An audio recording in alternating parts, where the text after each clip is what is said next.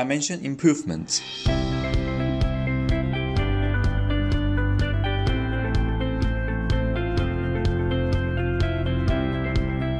This is a half section of shaft. When you finish the general sketch and try to modify the dimension as you want, you may find that the actual dimension you need is quite different from the current sketch, which may deform your sketch. To avoid this kind of deformation, we can scale the whole sketch proportionally when you are modifying the only one dimension. Okay, first, we will enable this function. You could find this option in the configuration menu here. Take it. Now, try to modify the dimension again.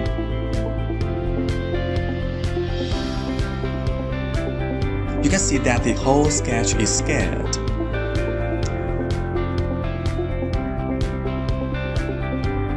This is the first improvement. Then, let's add dimension. While you try to modify the dimension in Sketch, normally, you have to modify it one by one to get the result you want. But now, with the new Dimension Batch Editor features, you can easily select multiple dimensions and modify it conveniently. Let's take this as an example. Right-click on any dimension and select Dimension Editor.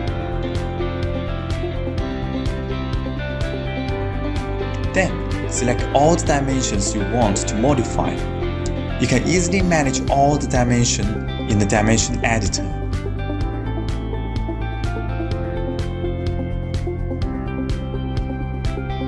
You can tick the Regenerate option, then the preview will be refreshed automatically.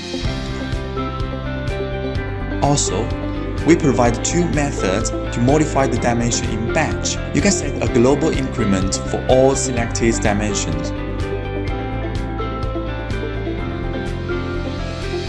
The second method is lock ratio. Then, the program will store the current ratio and change other selected dimensions based on the modified dimension.